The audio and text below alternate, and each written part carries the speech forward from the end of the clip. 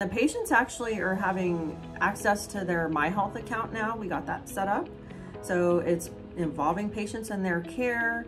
It's making them accountable on some level for the care they're receiving.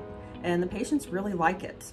The ideal candidate for a PES physician is a board certified or board eligible physician um, to come in and work 24-7 shifts. So we are a 24-7 program. The expectation is there is some nights, there's some holidays, weekend coverage that will be required. We really appreciate the teamwork concept. So when people go on vacation or maybe out, others can step in and help fill that, that void.